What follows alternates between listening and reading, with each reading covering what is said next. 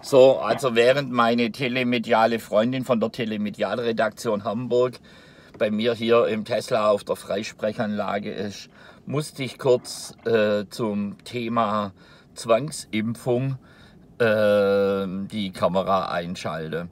Also beim Thema Zwangsimpfung sage ich ja schon mal, was ist mit jemandem, der Angst hat äh, vor einer Nadel und Nadelangst hat. Und wenn dann äh, der Herr Meier äh, zum Beispiel sagt, wer nicht äh, sich impfen lassen will, äh, der äh, ist kein Teamplayer in der Demokratie.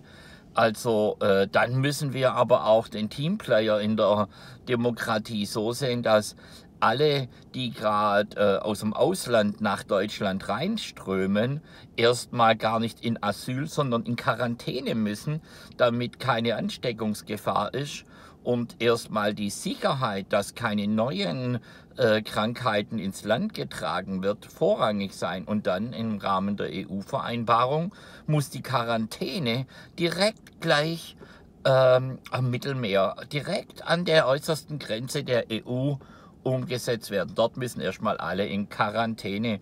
Wenn sie dann in Quarantäne sind und sie sind gesund, dann müssen die auch erstmal geimpft werden und das aufholen. Nicht, dass wir Deutschen äh, sozusagen uns nadeln und nadeln lassen müssen und die, äh, die gerade auf der Flucht sind, die haben das Ganze nicht.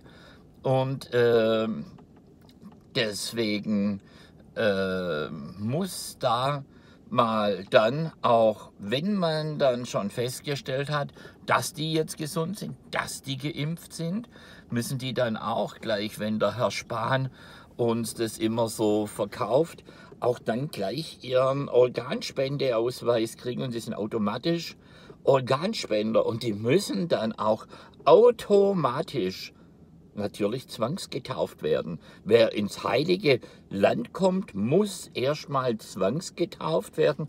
Was ist eine Zwangstaufe gegenüber einer Zwangsimpfung unseres Kindes in einem Staat mit dem Recht auf körperliche Unversehrtheit? Also wenn man einmal mal einmal Wasser über den Kopf schüttet, ist doch halb so schlimm, wie wenn man eine Nadel in, in, in der Körper macht. Das wäre ja eine körperliche Verletzung.